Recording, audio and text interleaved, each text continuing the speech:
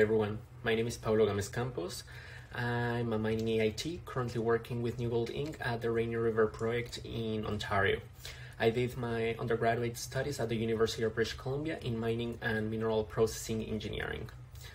Becoming an emerging professional at MetSoc represents to me an amazing opportunity to network and share ideas with fellow colleagues around the mining and metallurgy industries across Canada while learning about new studies and technologies available. It also represents an amazing opportunity to get involved within the mineral engineering chair and encourage others to get involved in important, in important events such as COM.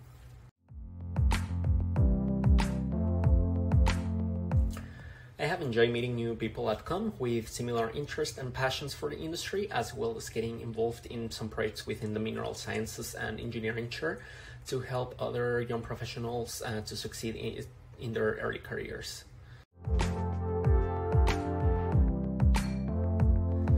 Encourage other young professionals to apply and become an emerging professional as this program will open new doors for your professional development.